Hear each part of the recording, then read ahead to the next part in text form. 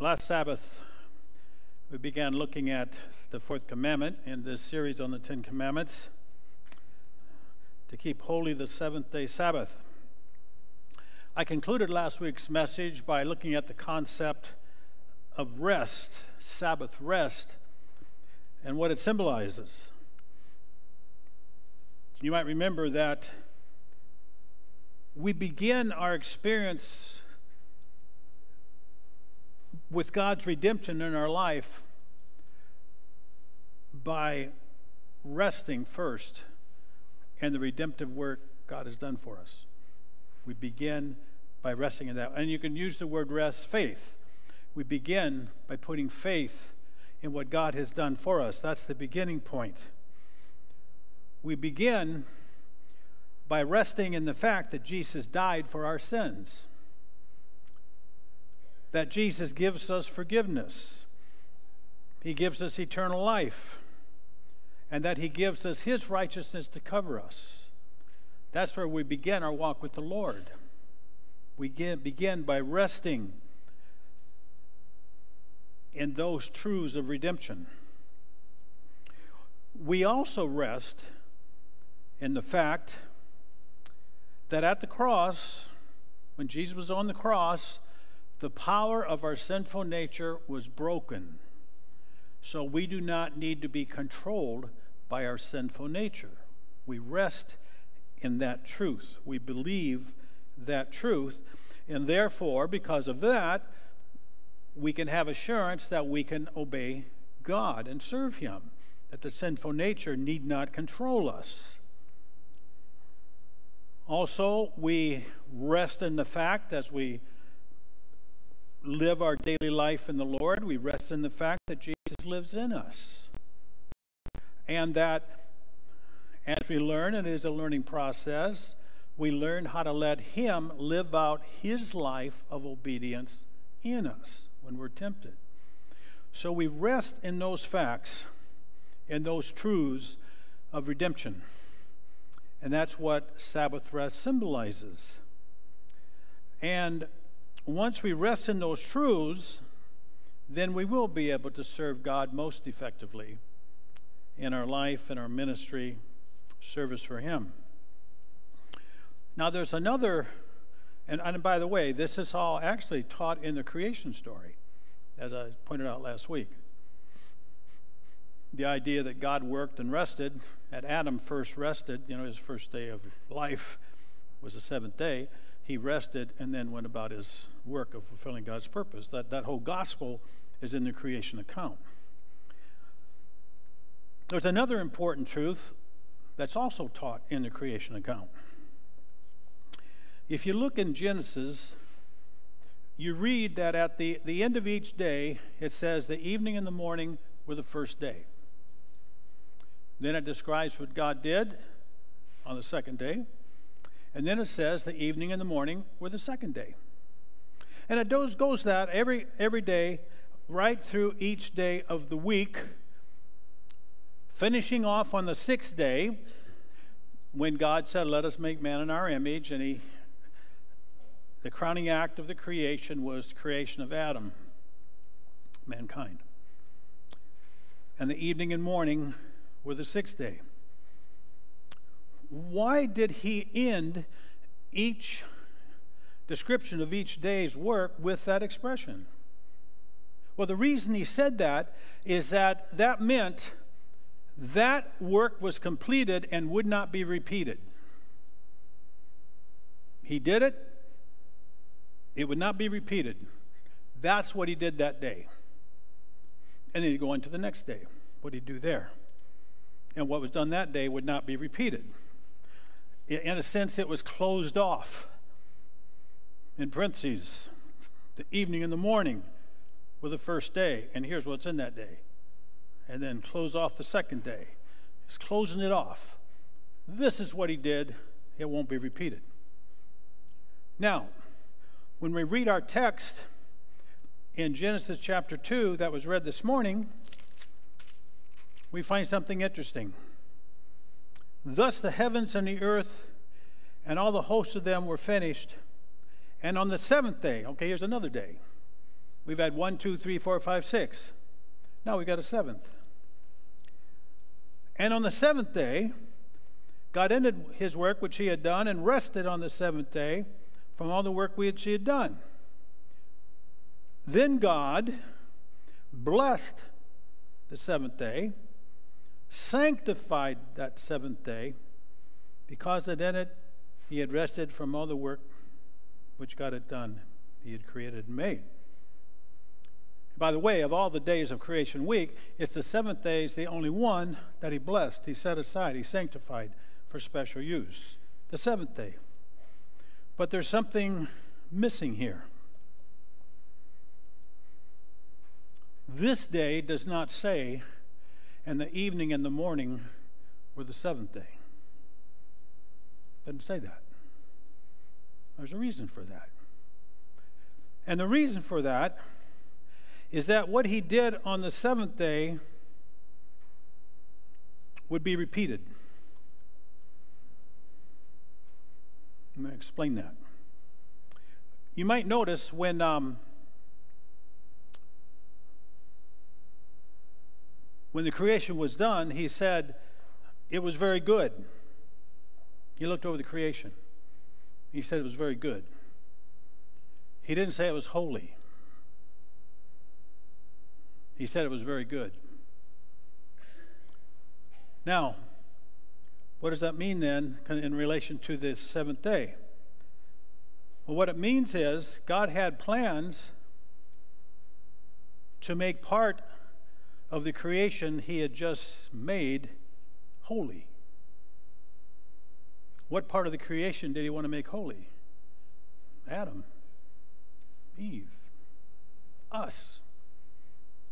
From the very beginning, creation of mankind, we were to be holy. Now, that's in why Adam and Eve were placed in the Garden of Eden they were placed there because they had a choice to either obey God or disobey God, one or the other. Now, if they continued a life of obedience to God, they would have grown spiritually. They would have grown into this holy man and woman, fully reflecting the character of God. That was the plan. However, we know the sad story. And what we find here is that obedience and holiness are interlocked. Obedience and holiness go hand in hand, are closely related. We see that from the story of the angels in the fall. Who are the holy angels? Those that chose to obey God. Holy, obedient angels. Who are the unholy angels? Those that choose to disobey God. That's not a complicated equation. so, obedience and holiness go hand in hand. And it has always been God's plan from the creation of Adam and Eve that his people that he created would be a holy people. That's always been his plan. A holy people. You read this in the Old Testament, Exodus 19, 5 and 6. Now, therefore, if you will obey my voice indeed and keep my covenant, okay, there's obedience, then you shall be a peculiar treasure unto me above all people for all the earth is mine, and you shall be unto me a kingdom of priests and a holy nation. God's desire was that Israel would be a holy nation, an obedient people, a holy people. You find this in Leviticus 20, verse 7 and 8. Sanctify yourselves, therefore. Something sanctified is when it's set aside for special use, the seventh day Sabbath is a sanctified day set aside for special use, different than the other six days. So God is saying here, sanctify yourselves, put yourselves aside, be different, separate from the world. those around you. Sanctify yourself, yourselves, therefore, and be holy. For I am holy. I'm the holy Lord your God. And you shall keep my statutes and do them, for I am the Lord which sanctify you. So there it is again. Israel was called to be a holy people, an obedient people, to serve their God. Holiness, obedience go hand in hand. We find this in the New Testament. John 17, 17, we know this, you probably know this by heart. Sanctify them through thy truth, thy word. yes, sanctify them through thy word. Let me read it. sanctify them through thy truth. Thy word is truth. There you go. To sanctify, make holy. So he's saying, make holy, become holy through the truth of my word, through obedience to my word. In Romans 7 uh, 12. Wherefore the law is holy, the commandment holy. So God's Ten Commandments define holiness. God's Ten Commandments define the character of God. We're told they're a transcript of God's character. So the commandments define holiness. What, what does a holy person look like in their life? Well, you look at the commandments, that's what they look like in their life. That's, that's what he's saying there. Now, this is why God gave Israel the Ten Commandments soon after he delivered them from Egypt. Now, as I said before, God did not give them the commandments in Egypt. He did not say, Here are the Ten Commandments, obey them, and I will deliver you. That's the backwards order of things. First comes deliverance, first comes salvation, then obedience. So God first delivered his people out of Egypt. Now that they are a delivered people unto God, he gives them the Ten Commandments. Why? They needed to know how to be that holy people. They needed to have God's law. Remember, the commandment is holy, just and good. They needed that to become the holy people of God. Also taught in the New Testament, God wants us today to be a holy people, of course. 1 Peter 1. But as he who called you is holy, you also be holy in all your conduct, because it is written, Be holy, for I am holy. Why is that important to God? Why is it essential God's people be obedient? It's essential because only a holy, obedient people can enter into intimate fellowship with a holy God. You see, holy angels are in close fellowship with God. Unholy angels, there's no way. Impossible. So, as a people, so the more in harmony with God we become in our life and grow in a relationship with Him, more of an obedient, holy people we become. This is what the cross was all about. Isaiah 59 tells us that sin separates us from God. Sin's the opposite of holiness. Christ took upon himself the consequences of our sin. He died the death we deserve so that our relationship with God could be restored. And that's what the plan of salvation is all about. Now, you've heard me talk a lot about the the Holy Spirit. It is through the daily baptism of the Holy Spirit that Christ can live in us most fully. Therefore, it is through the baptism of the Holy Spirit that we can grow more and more like Christ, more and more in holiness. Paul here describes this, Ephesians 2:10.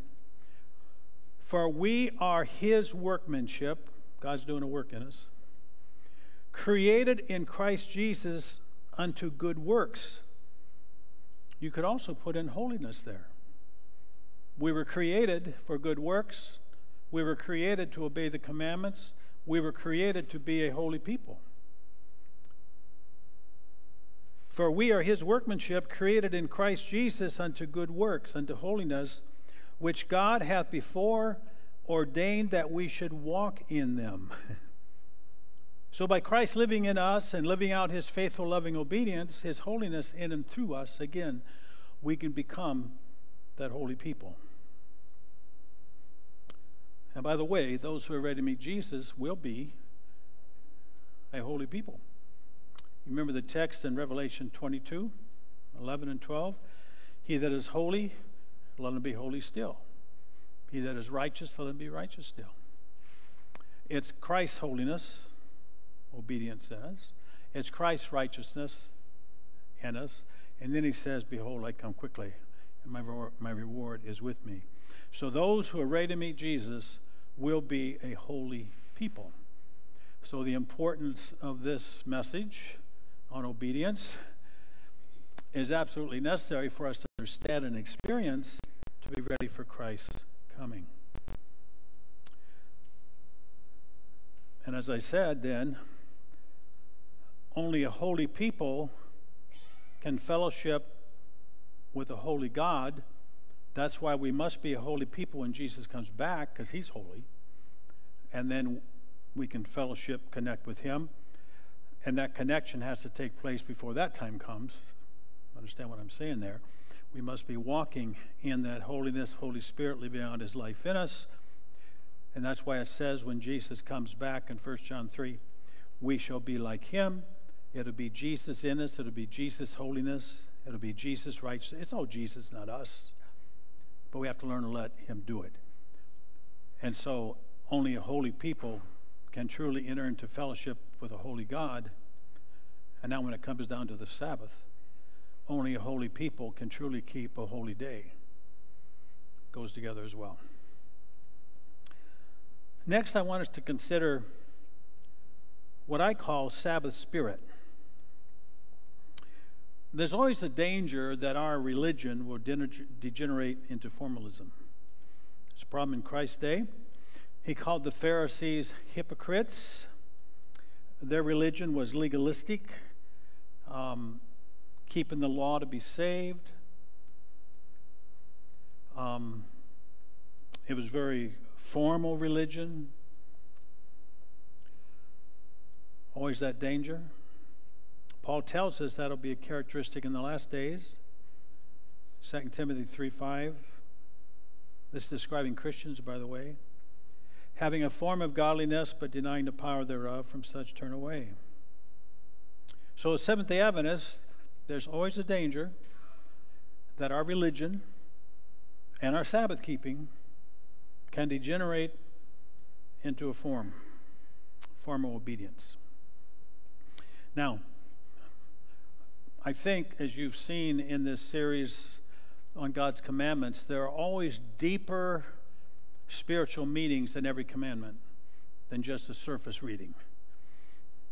For example, you know, the, the Pharisees of Christ's day, uh, they knew the commandment said, um, Thou shalt not commit adultery.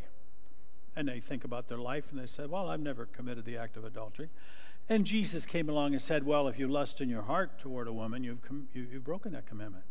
So Jesus sought to take them deeper into the deeper spiritual meanings of the commandments. And that's why he said he came to magnify the law. It's such a false teaching to say that he, he came to destroy or end the law. He didn't end it, he came to magnify God's Ten Commandments. Well, what about the Sabbath? What about the Sabbath? Um, what is the spirit the deeper meaning of the Sabbath. I looked up um, in Webster's Seventh New Collegiate Dictionary, defining spirit. Here's what defines spirit as. I'm not talking about Holy Spirit. Idea what's the spirit of the thing? The activating or essential principle influencing a person, an inclination, impulse or tendency of a specified kind, a special attitude or frame of mind, the feeling, quality, disposition characterizing something. So I would, I would ask us what is the essential principle or spirit of the Sabbath? Well, the Sabbath is a memorial of two things it's a memorial of God creating and God redeeming, right? Those two things, creating and redeeming. And those two works are very similar. Now, when we read, you know, there's a couple listings of the Ten Commandments, and when we read the commandments in Deuteronomy 5, and this, this particular scripture always has meaning to me because my very first Bible study, I just been baptized on this particular Sabbath, and some friends stopped by who I knew from high school. I, I was a senior in college at the time. And he and his wife came by, and I was all excited about my new faith. And so I started to talk to him about the Sabbath. He wasn't so much a Christian, but his wife was a Christian, and she wanted me to set up an appointment to meet with her pastor. And uh, I said, okay. And so I met with the pastor who baptized me, and we were going to study the law of God. And so the pastor that baptized me gave me a little Bible study outline on the two commandments, so forth. And um, this pastor was very kind. He let me go through my presentation. Then he went through his presentation. And you know how that goes, then you kind of give and take after that.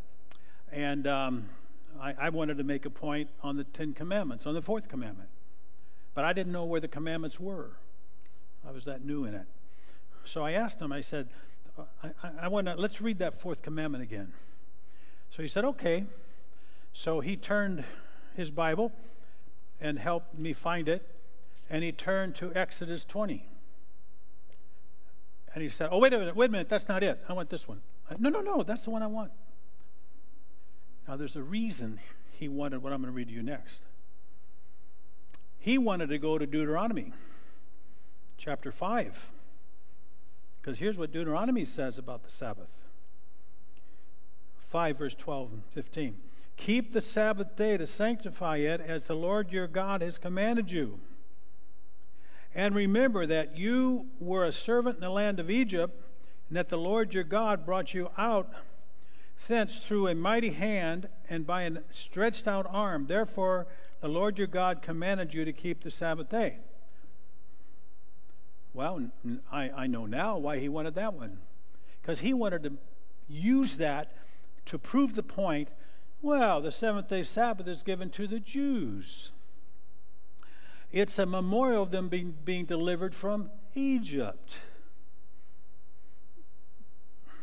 Being, I don't know if he's ignorant of it or not, maybe he was, being ignorant of the fuller, broader concept that the Sabbath is a memorial of redemption, and deliverance from Egypt was a type of the redemption that God wants to bring in all of our lives.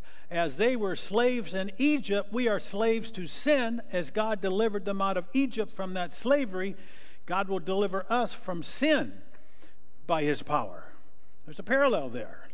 And, he's, and God used that to tie it in with the seventh day Sabbath. So the Sabbath is a memorial of deliverance. And Israel just experienced a mighty deliverance. And so God said, Look, remember to keep holy the seventh day Sabbath. I have now freed you. You are not slaves any longer. I took you out of Egypt. So now you are free to keep the seventh day Sabbath as I commanded you. I am the God who delivers you. And that's the sequence, by the way. Always. Deliverance first, salvation first, then obedience. Never the other way around. And we obey God because we're grateful for the deliverance He gives to us. A lot of typology there. So you see, this deliverance concept and this is, by the way, where there's a parallel between the creation story and redemption and that's why the Sabbath is a memorial of both. The earth was in darkness in creation, He brought light. We're in darkness, and God brings light to us in redemption. And we find the earth was without form and void, and God created, made perfect perfection, perfect form. And redemption, He comes and saves us. We shall be totally restored, perfect. The world was lifeless. God brought life in the, in the, in the creation and also in redemption. And in, uh, in redemption, God created Adam and Eve in his image. In creation, he did that. In redemption, he recreates us in his image. See parallels? So you've got the, the, the redemption story taught from a couple perspectives. In the creation story, remember when Jesus says, You search the scriptures and you think in them you have eternal life, and they are way which testify of me. I tell you, folks, from Genesis 1 all the way through, it's Jesus. It's Him. Now, sometimes we don't see it initially, He's there. And that's what we see in the creation story. Therefore, getting back to the point, what is the spirit of the Sabbath? The spirit or principle of the Sabbath is restoration. Restoration. Sabbath and restoration goes hand in hand. Cooperating with God and restoring our fellow man. That's the spirit, our essence of the Sabbath. The Sabbath spirit. Cooperating with God in the restoration of our fellow man. Now, Paul talked about the ministry God's given us. You find this in um, 2 Corinthians 18. And all things are of God, who has reconciled us to himself by Jesus Christ and has given to us the ministry of reconciliation. Oh, every one of us are ministers of reconciliation. That's our calling. To be ministers of, res- of, of restoring men and women back to God, the image of God, back in their life. So, we will be keeping the spirit of the Sabbath all week if we are experiencing His restoring power in our life by resting in what He's done for us. Nigel already described that last week and at the beginning of this sermon.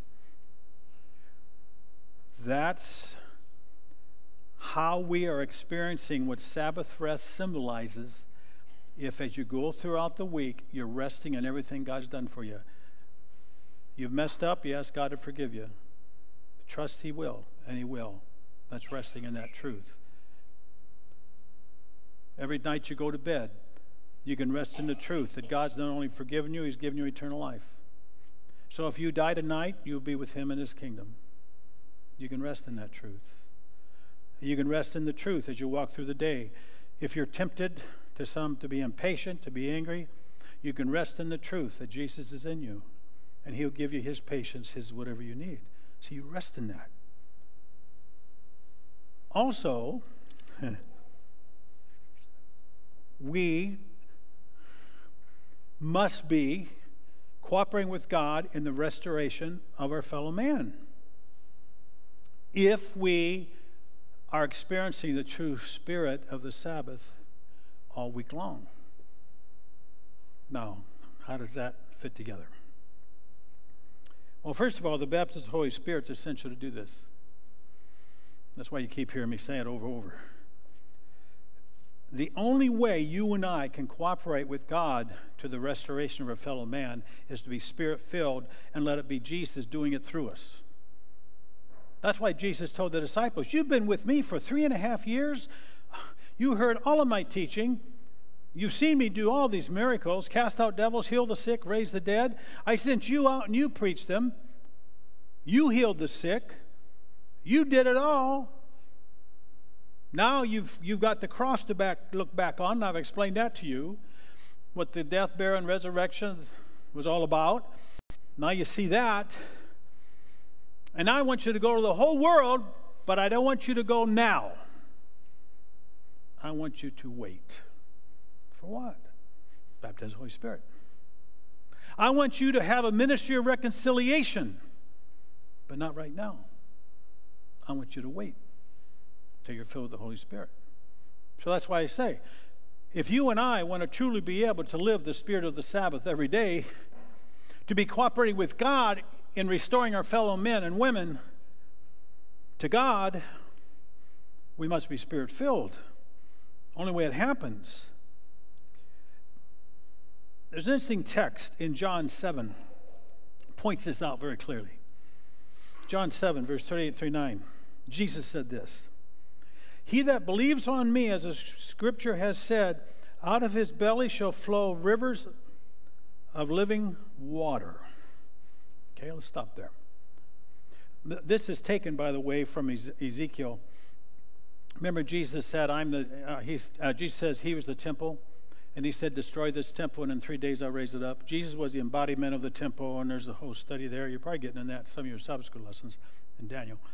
Um, well, in Ezekiel, I think it's 47, you got a picture of the temple, and out of the temple flows this stream of water.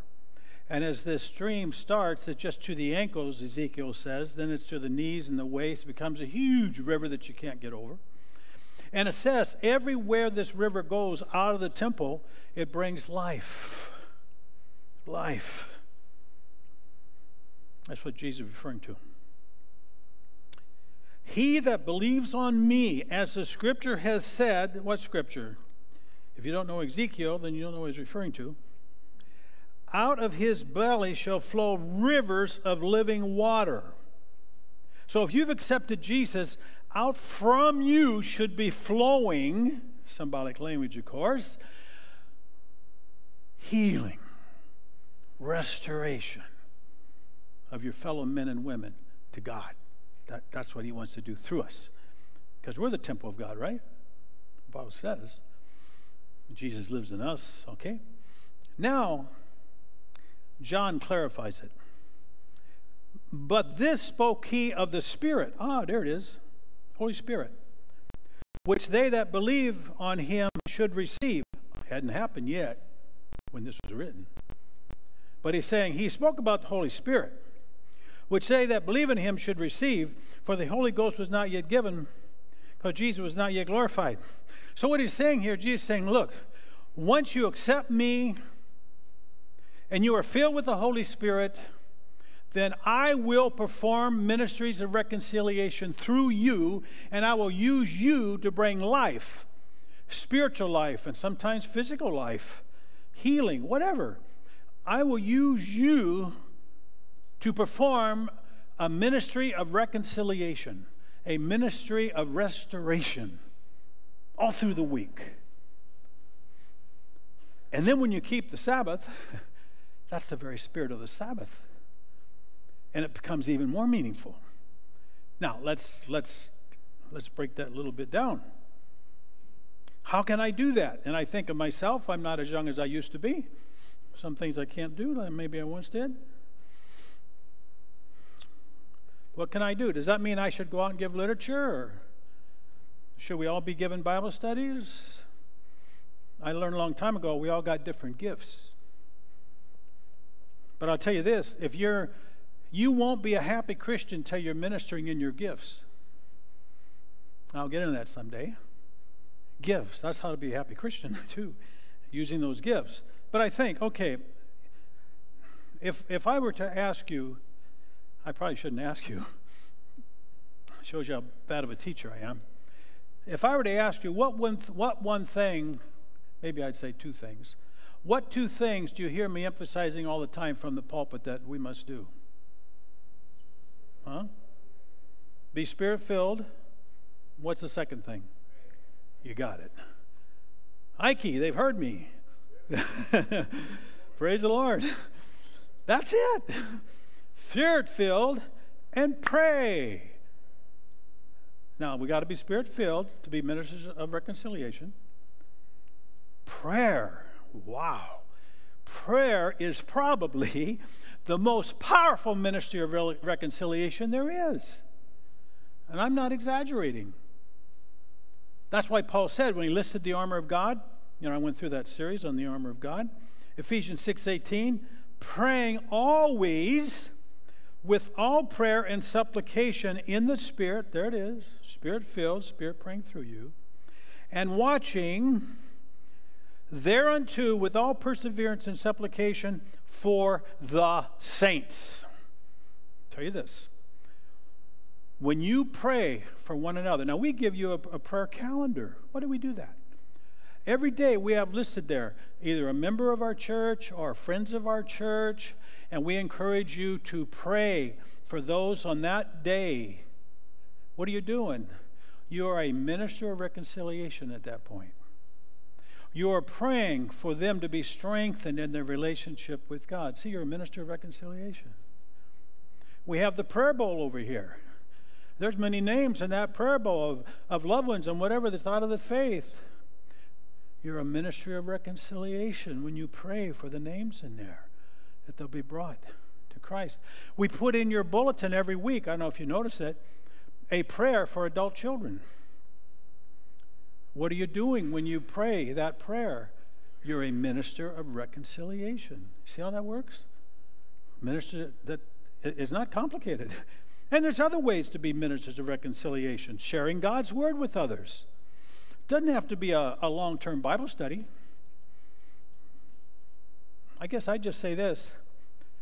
If you pray every day, Lord, give me opportunity to witness for you, don't tell them how to do it. Just say, Lord, give me opportunity and then have your eyes and ears in tune for the opportunity when it arises. And it may be just one little expression or phrase or word that God will use you right there to speak to someone. That's a minister of reconciliation.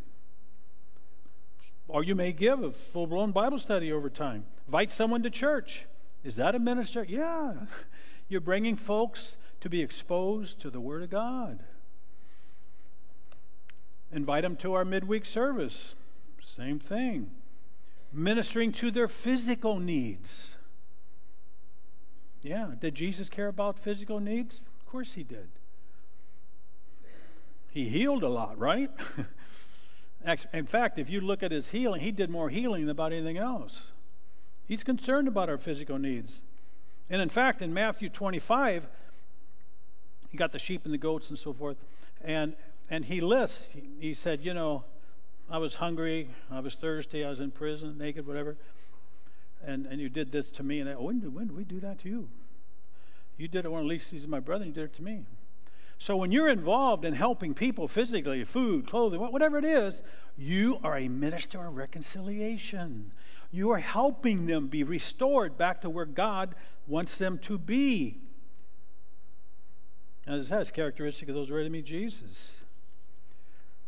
And so, why did Jesus heal so much on the Sabbath? What did I say? He came to magnify the law.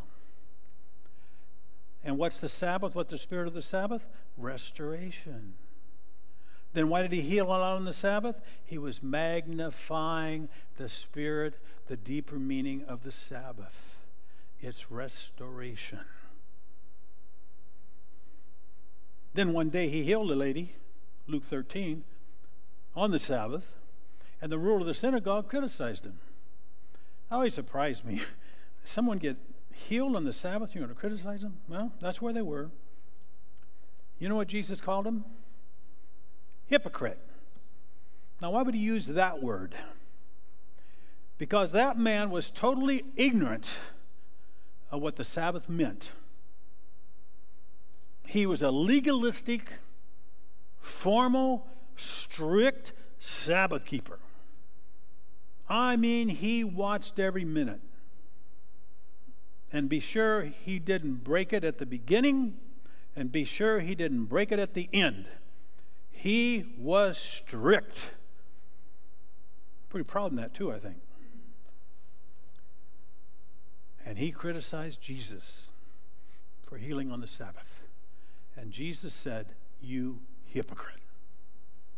You have no idea what the Sabbath is all about. Nothing. No, that's what the Sabbath's about. And you know, when you, when, one of the chapters, this many years ago, I read Isaiah 58 and I started studying that. Isaiah chapter 58 is an amazing chapter in the Old Testament. It describes, it's kind of like the Laodicea message in, in, uh, in the Old Testament. Isaiah 58 begins by saying, you know, you say you do all these things and you're really uh, living up to the faith like you're supposed to. And then, Lord, why don't you hear us? And, you know, and, and then God says, hey, this is the fast that I ask you to do. And then he, he lists it, Isaiah 58, verse 6, he says, Loose the bands of wickedness. Now think of restoration here. Loose the bands of wickedness, undo the heavy burdens, let the oppressed go free, break every yoke, deal your bread to the hungry, bring the poor that are cast out your house. When you see the naked, you cover him. Hide not yourself from your own flesh. A whole list of things that they should have been doing to cooperate with God in restoring others to relationship with Himself and helping their fellow man. That's Isaiah 58. And he says, if you do this, you are going to be greatly blessed. Your, you know, your light shall burst out. And he calls them, you will be, you will be, you that do this, will be the repairs of the breach, the restorer of paths to dwell in. Now, what's the breach? The breach is in the law. And then he, and then he speaks about the Sabbath. If you turn your foot from the Sabbath, from, you know, and he talks to him about keeping the Sabbath. So what's he saying there? He's tying the Sabbath in with this ministry of reconciliation. And he says, and we, we pride ourselves a bit as Seventh day Adventists that we uphold the Sabbath. We know what the mark of the beast is, we know what's going to happen at the end time. But this text says, those that who will really restore the Sabbath are those that are cooperating with God in reconciling their fellow man to God. That's what this Isaiah 58 is saying. They're the ones cooperating with God in ministry of reconciliation. They're the ones that shall repair the breach. Now, Ellen White, I, amazing quote, came across many years ago. She quotes Isaiah 58, verse 12. And she puts together Sabbath, Isaiah 58, Ministers of Reconciliation. She says this All who love God will show that they bear his sign by keeping his commandments. They are the restorers of paths to dwell in.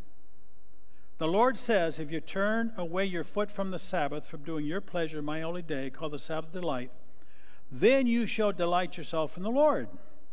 And I will cause you to ride upon the high places of the earth. Then she says this Thus, genuine medical missionary work is bound up inseparably with the keeping of God's commandments, of which the Sabbath is especially mentioned, since it is the great memorial of God's creative work. Its observance is bound up with the ministry of restoring the ministry of restoring the moral image of God in man. See, that's the spirit of the Sabbath. This is the ministry which God's people are to carry forward at this time. This ministry, rightly performed, will bring rich blessings to the church. Bottom line if I don't understand what it really means to rest in the Lord 100% for every aspect of my salvation, now I'm not saying I'm lost, but I'm saying I'm not really keeping the Sabbath as God wants me to. I may be meticulous, looking when the sun goes exactly down when it begins on Friday, and when it goes exactly down when it ends on Saturday. I may be very meticulous on that and some other things here. And all that's not bad, perhaps. But if I'm not truly resting in Christ 100% for my salvation, I'm missing the heart of it. The heart of it. And if I'm not truly seeking to be used by God to cooperate with Him in restoring my fellow man and woman to the image of God and helping them physically, spiritually, every way as God leads. If I'm not doing that through the week, again, I'm missing the very point of the Sabbath.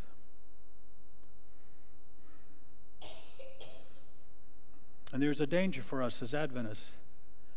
If we're missing those key points, we have to be careful our Sabbath keeping may truly be a form, a formality. I do want to add this again God knows our heart. And, and, and I'm sure none of us are where God wants us to be. We're still growing in this. But I do challenge us today to look seriously at some of the deeper meanings of, of, of what true Sabbath keeping is and how it's a matter of an activity all week long. So that when the Sabbath does come, it has, I tell you, it has a, a depth and a height and breadth of meaning. Wow, what a day of celebration when you think about it. So God is preparing a holy people. As I said kind of in the announcement, we see things going on in the world today. He's coming. He's preparing a holy people.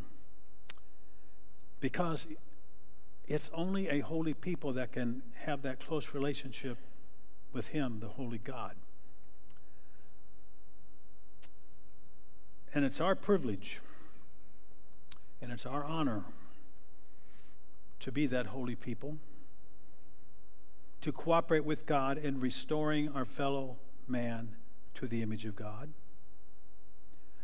It's our privilege and honor to proclaim the true Sabbath to the world, to proclaim its depth of meaning. It's significant in these last days, and we know it will be. That's our privilege to do that. And according to Isaiah 58, it's those who understand and are cooperating with God in this ministry of reconciliation that will truly restore the Sabbath to its right place. And they, I think we can see how that will how that will fit in. You know, if if people talked about the Clearview Church and they said, "Oh yeah, that's those people that go to church on Saturday," and they they say most of them don't eat meat. That's okay, I guess. But if they could say, you know, when I'm around that person, they seem like they just want to talk about Jesus all the time. They seem to really love Jesus. Or they say, you know, they, they, they really are caring. You know, there was a neighbor over there I heard about, and they had a certain need, and they really went to work to help that person. Now, I'm not scolding us. We got a wonderful congregation, and I, as pastor, I hear all kinds of good stuff. We have people here that care. And if there's someone hurting, we have members that go over there. So I praise God for that. And it's those kind of things that people take notice of in a community. I remember reading in history, I like history, back in the early centuries, and they'd put prison uh, Christians in prison. And back in those days, you weren't fed by the prison. Christians would die, deny themselves food so their brothers and sisters in prison could have food. And there was a pagan writer that said, Behold how they love one another. If that was the testimony that we had, I don't think the seventh day Sabbath would be much of an issue to people. They'd say, Hey, I don't care what day you go to church on, I want to go there. I want to experience what you got. And that's where God wants to take us. And I think He is. We're in process. I'm in process. But that's where He wants to take us. So I've chosen for our closing song today is number 500, Take Time to Be Holy. And I also want to mention that if there's anyone that's never given your life to Christ and you, you feel you'd like to, come up front, your left after the service, or if you feel you've wandered away and you'd like to come back for prayer, both these are for prayer, come up front to the left after the service.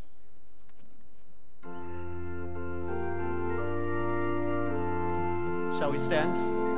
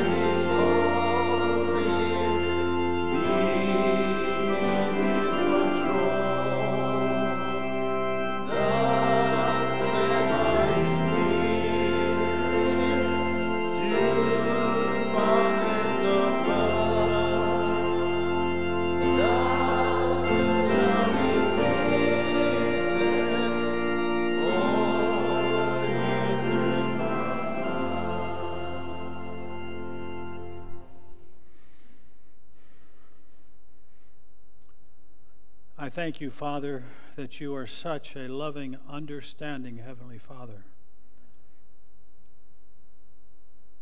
And I thank you, too, that truly you who know us best love us most.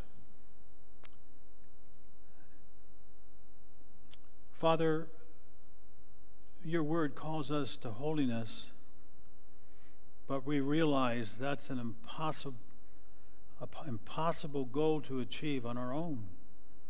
We just can't do it.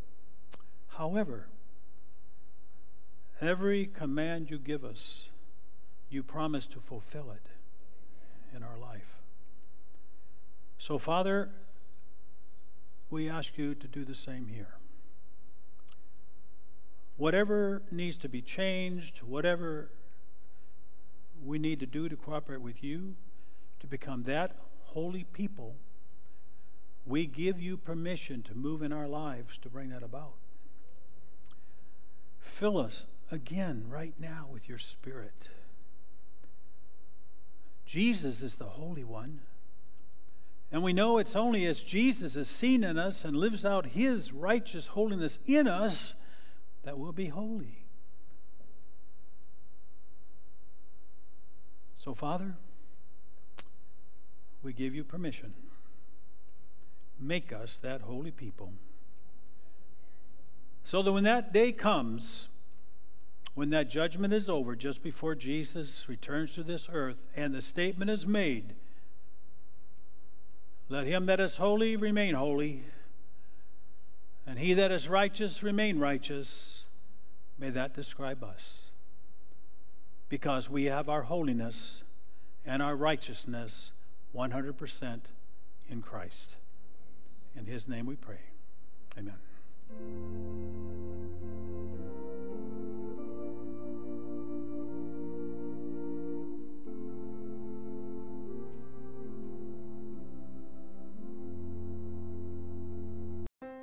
Hi, I'm Dennis Smith, pastor of the Clearview Seventh Adventist Church. We're located at 19554 North Papago Drive in Surprise, Arizona. The major focus in our church is, of course, on Jesus Christ and also on prayer and the Holy Spirit. I find it interesting that when Christ gave us what's called the Lord's Prayer, as part of that prayer, we were to ask the Father that His will be done in earth as it is in heaven. And that's fascinated me for years. And it had a major impact in my life and as a pastor to realize that when God wants something done in this world, it's absolutely essential that we as Christians ask Him to do it. And that gives Him the rite of passage.